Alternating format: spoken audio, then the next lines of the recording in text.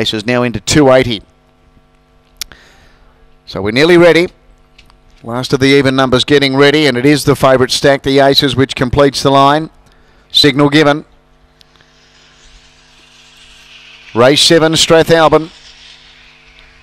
Off they go, and beginning well here was Alinga Vale. It's looking for the lead. Spring Lisa went with it though. Going to third was blown away. Next then was Stack the Aces getting to the outside to wind up from Mazza's Mitzi, Precious Parker, and Tommy's Tune off the back. And the leader blown away now. Blown away had the lead from Spring Lisa. Then Alinga Vale and Tommy's Tune, but blown away well clear. And blown away blew them away. Blown away first. Spring Lisa second. Alinga Vale third. Tommy's Tune fourth.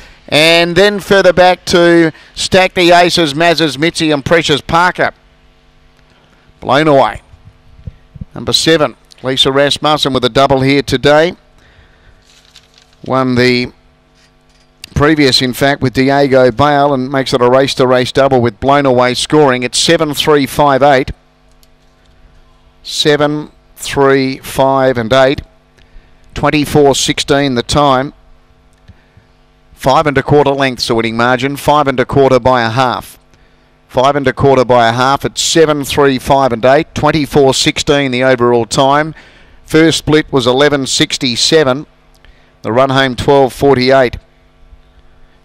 Uh, 12.49 that might have been the run home, sorry. So the uh, margin's five and a quarter by a half. 24.16 the overall time. 11.67 early and uh, home. Yes 1249 1249 home for a 24-16 gallop which uh, is now the the quickest of the 416 metre races so far today. The next race 8 is the Kayleen Newton Trophy and we've got a full field of 8 lining up in race